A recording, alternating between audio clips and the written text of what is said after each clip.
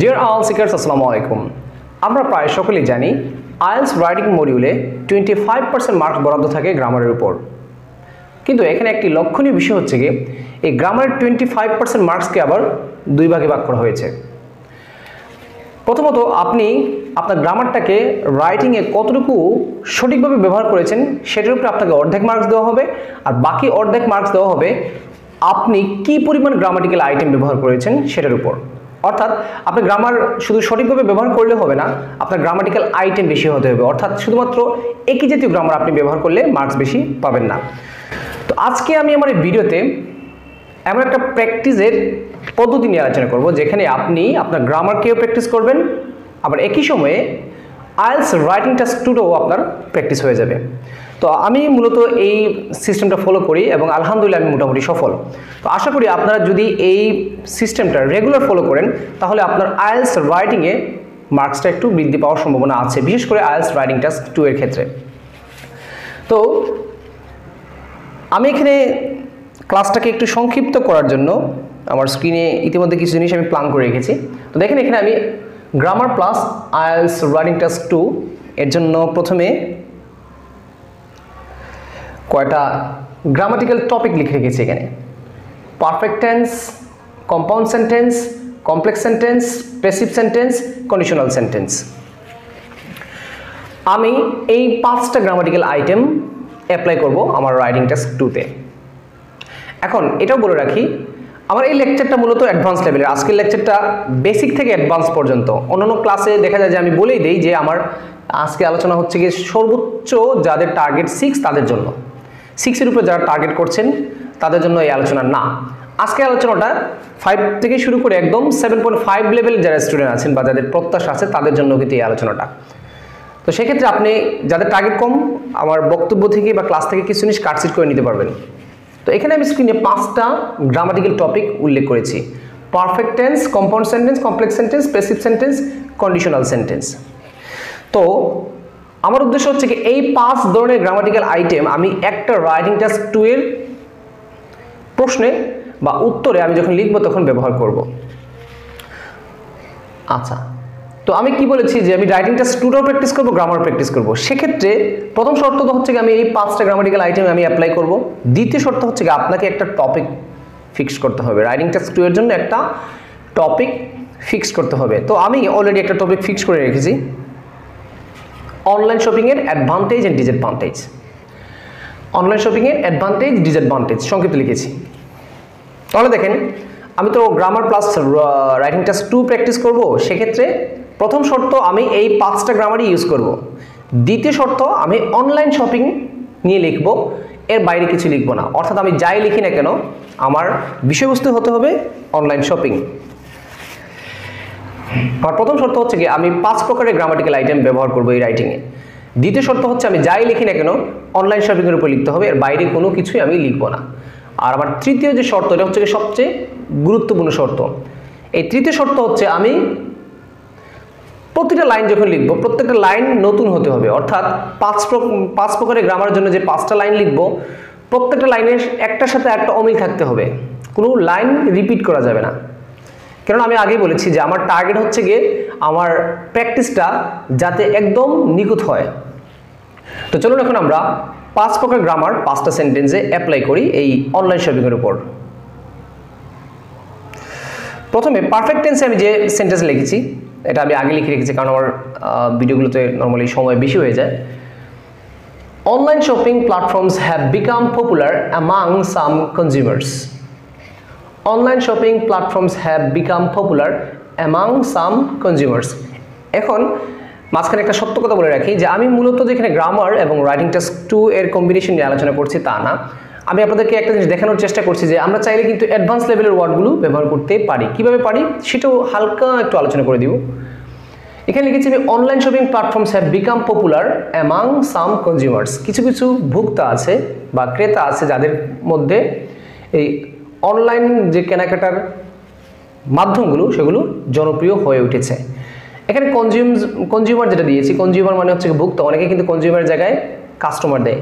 তো এই কনজিউমারটা কিন্তু একটু অ্যাডভান্স লেভেলের ওয়ার্ড আচ্ছা তো আপনি চাইলে কিন্তু এরকম মাথা সেট করে রাখতে পারেন যে আমি যে কোনো একটা টপিক নিব, এই টপিকের উপরে প্রেজেন্ট পারফেক্ট টেন্সে একটা বাক্য লিখব। এ হচ্ছে কি আমার পারফেক্ট টেন্সের বাক্য। আর একটা জিনিস আমি যে এই যে পাঁচটার গ্রামাটিক্যাল আইটেম নিয়ে আলোচনা করছি, প্রত্যেকটা আইটেম কিন্তু আমার ইউটিউব চ্যানেলে আপলোড দেওয়া আছে, আপনারা চাইলে একটু চেক করে নিতে পারেন। কম্পাউন্ড সেন্টেন্স কম্পাউন্ড সেন্টেন্সটা কি? সহজ ভাষায় বলতে গেলে কম্পাউন্ড সেন্টেন্স হচ্ছে কি দুইটা সিম্পল সেন্টেন্স যখন কোঅর্ডিনেটিং কনজাংশন দ্বারা যুক্ত থাকে। সহজ ভাষা and or but however neither either এগুলো দ্বারা যখন দুটা সিম্পল সেন্টেন্স যুক্ত থাকে সেটাকে আমরা বলি কম্পাউন্ড সেন্টেন্স তো কম্পাউন্ড সেন্টেন্সের ক্ষেত্রে আপনাদের প্রতি একটা পরামর্শ হচ্ছে গিয়ে, আপনারা নট অনলি বাট অলসো দিয়ে একটি বাক্য অবশ্যই লিখবেন, এটা প্র্যাকটিস করে রাখবেন। তো এখানে আমি দেখেন লিখেছি virtual apps not only save our times এই যে অনলাইনের যে অ্যাপগুলো আছে, সেগুলো শুধুমাত্র আমাদের সময় বাঁচায় না but also assist to review products quality এই যে একটা প্রোডাক্ট আমরা ব্যবহার করি প্রোডাক্টের কোয়ালিটিটাও আমরা রিভিউ বা মতামত দিতে পারি এই অ্যাপসের মাধ্যমে। তাহলে দেখেন নট অনলি বাট অলসো এর একটা ইউজ আমি দেখিয়েছি। নট অনলি বাট অলসো দিয়ে যদি কোনো বাক্য লেখা হয়, সেটা কিন্তু কম্পাউন্ড সেন্টেন্সে পড়ে। তো নট অনলি বাট অলসো এর পরিবর্তে কিন্তু আপনি অ্যান্ড দিয়ে বাক্য তৈরি করতে পারেন। কিন্তু অ্যান্ড দিয়ে দিবেন না। অ্যান্ডের বদলা দিবেন নট অনলি বাট অলসো সেক্ষেত্রে কিন্তু আপনার যে লেভেল লেভেলটা কিন্তু একটু উপরের লেভেল আপনি শো করতে পারবেন। এখন দেখেন এই যে প্রেজেন্ট পারফেক্ট টেন্স আর এই যে কম্পাউন্ড সেন্টেন্স এই দুটোর মাঝে বাংলাতে কিন্তু কোনো মিল নাই, অর্থাৎ তথ্যগত কোনো মিল নাই গ্রামারের কোনো মিল নাই। অর্থাৎ আমি আমার শর্তগুলো বজায় রাখার চেষ্টা করছি। পরবর্তীতে হচ্ছে কি কমপ্লেক্স সেন্টেন্স কমপ্লেক্স সেন্টেন্স কি? কমপ্লেক্স সেন্টেন্স হচ্ছে গিয়ে একটি বাক্যাংশ অন্য একটা বাক্যাংশের উপর নির্ভরশীল হয়ে একটা সম্পূর্ণ অর্থ প্রকাশ করে, তখন সেটাকে আমরা বলি কমপ্লেক্স সেন্টেন্স তো কমপ্লেক্স সেন্টেন্স কাকে বলে, কীভাবে লিখতে হয় সেটার ক্লাস আছে, আপনারা একটু কষ্ট করে চেক করে নেবেন। We should be cautious when buying commodities virtually so that we can stay away from fraud vendors. এই লাইনটা সেভেন প্লাস ব্যান্ডের এই লাইনটা লিখেছি। তো আসলে তো আমি বোঝাচ্ছি যে কীভাবে অ্যাপ্লাই করতে হয়। এটা যদি কারও কাছে কঠিন মনে হয়, সে সহজ একটা বাক্য নিক, সহজে নেই। কারও কাছে যদি মনে হয় যে এটা বেশি কমপ্লিকেটেড হয়ে গেছে, জটিল হয়ে গেছে, সে সহজ একটা বাক্য নিয়ে সেটা লিখুক, সমস্যা নেই। প্র্যাকটিসের ক্ষেত্রে আপনি সহজ থেকে শুরু করেন। উই শুড বি কৌশাস আমাদের সতর্ক হতে হবে ওয়েন বাইং কমোডিটিস যখন আমরা পণ্য কিনবো। কমোডিটিস মানে পণ্য। ভার্চুয়ালি অনলাইনে যখন আমরা অনলাইনে পণ্য কিনবো, তখন আমাদেরকে সতর্ক হতে হবে সো দ্যাট যাতে। আপনাদেরকে একটা উপদেশ দিয়ে রাখি সো দ্যাট কমপ্লেক্স সেন্টেন্সের সো দ্যাট এবং অলদো এই দুটো দিয়ে বাক্য লেখার অভ্যাস করে রাখবেন। So that we can stay away আমরা যাতে দূরে থাকতে পারি ফ্রম ফর ব্যান্ডর্স প্রতারক যে ব্যবসায়ী আছে ব্যান্ডর্স ব্যান্ডর্স মানে কি? ব্যবসায়ী। তো আমরা জানি বিজনেসম্যান সেলার শপকিপার এরাই হচ্ছে গিয়ে বিক্রেতা। না, এই ব্যান্ডর্সটা হচ্ছে একটা অ্যাডভান্সড সিনোনিম এর অর্থ দাঁড়ায়, আমাদেরকে পণ্য কেনার সময় সতর্ক হতে হবে যাতে আমরা প্রতারক বিক্রেতার কাছ থেকে দূরে থাকতে পারি। তো এখানে দেখেন, তৃতীয় যে গ্রামাটিক্যাল আইটেমটা অ্যাপ্লাই করেছি, সেখানে গ্রামার আইটেমটা চেঞ্জ হয়েছে প্লাস লাইনটাও চেঞ্জ হয়েছে, আবার টপিক কিন্তু সেমই রয়েছে, অর্থাৎ অনলাইন শপিং রয়েছে। তার মানে আমি আমার শর্তগুলো ফিল আপ করেই এগুচ্ছি। পরবর্তী সেন্টেন্স প্যাসিভ ভয়েস প্যাসিভ ভয়েসের এখানে উদাহরণটা দিয়েছি, দেখেন payment can be made swiftly within shortest period of time swiftly মানে দ্রুত। তো দ্রুত জায়গায় আমি ফাস্টলি ফাস্ট এগুলো দিতে পারতাম। তো আমিও চেষ্টা করছি যে সিনোনিমগুলো একটু অ্যাডভান্স লেভেলের দেওয়ার চেষ্টা করি। দেখেন, আপনি কিন্তু অনেক অ্যাডভান্স সিনোনিম জানেন, কিন্তু অ্যাপ্লাই করার মানে করার অভ্যাস না থাকার কারণে কিন্তু আপনি অ্যাপ্লাই করতে পারেন না। আপনার রাইটিংয়ে ইম্পর্টেন্ট ওয়ার্ডটা আসছে। আপনি ইম্পর্টেন্ট জায়গায় আপনি ক্রুশাল দেন ভাইটাল দেন, অভ্যাস করেন।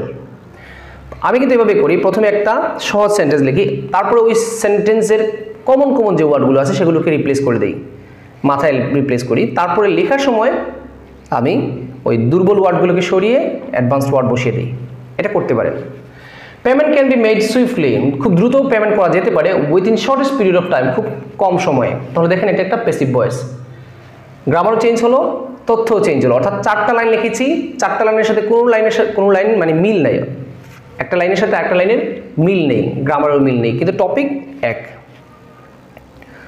সর্বশেষ হচ্ছে কি conditional sentence if the number of online purchase increases যদি অনলাইনে কেনার সংখ্যা, ক্রয়ের সংখ্যা যদি বৃদ্ধি পায় mainstream shops will fall victim of great loss mainstream মানে কি?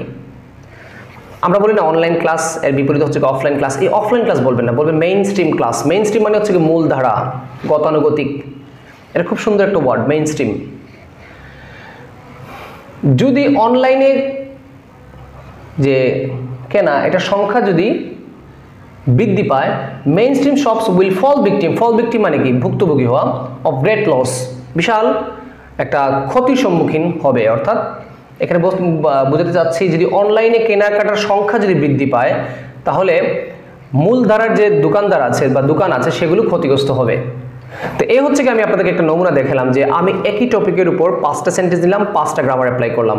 তো আপনারা কিন্তু বাসায় এভাবে প্র্যাকটিস করতে পারেন। এখন উল্লেখ্য কিছু বিষয় আছে যে অনেক স্টুডেন্ট আছে দুর্বল, তারা পাঁচটা গ্রামার পারেন না। ওকে আপনি যদি পাঁচটা গ্রামার নাও পারেন, তিনটা পারেন, দুইটা পারেন, এই দুইটাই কিন্তু ভালোভাবে প্র্যাকটিস করেন। আর পারবেন না কেন? কন্ডিশনাল আপনি চারটা কন্ডিশনাল পড়বেন না, একটা কন্ডিশনাল মুখস্থ করেন। আপনি কমপ্লেক্স সেন্টেন্স অনেক সেন্টেন্স বানানোর দরকার আপনি তিনটা সেন্টেন্স বানান। একটা হুইচ দিয়ে, একটা সোদের দিয়ে, একটা অলদো দিয়ে, এরকম বানাতে পারেন। এখন প্র্যাকটিসের ক্ষেত্রে আমি আপনাদেরকে আরেকটা সাজেশন দিয়ে রাখি। কেমব্রিজ যে আইএলসের বই আছে, সেগুলো থেকে কিন্তু আমরা রাইটিং খুব সহজে প্র্যাকটিস করতে পারি, যেটা অনেকে কিন্তু ফলো করেন না।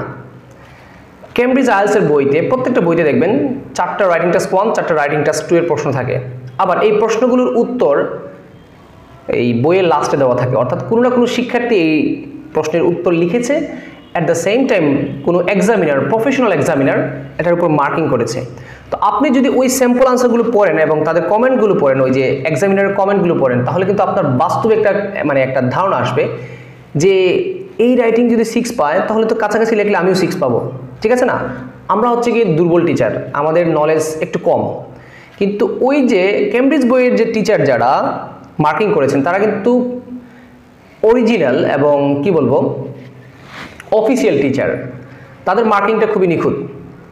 তো আপনাদের প্রতি পরামর্শ হচ্ছে কি, বাসায় বসে যদি প্র্যাকটিস করতে চান, তাহলে এই যে কেমব্রিজ বইয়ের লাস্টে যে স্যাম্পল আনসার দেওয়া আছে, যেগুলো স্টুডেন্টরা লিখেছেন এবং ওই প্রফেশনাল এক্সামিনাররা মার্কিং করেছেন, এগুলো বেশি বেশি করে পড়বেন। কেমব্রিজ সেভেন থেকে ধরে আপনি সতেরো পর্যন্ত যে বইগুলো আছে, সবগুলোর লাস্টের রাইটিংয়ের কমেন্টগুলো পড়বেন। দেখবেন আপনার একটা বাস্তবিক একটা আইডিয়া হচ্ছে যে কি পরিমাণ লিখলে আমি আমার সিক্স সিক্স পয়েন্ট ফাইভ এরকম মার্কস পেতে পারি।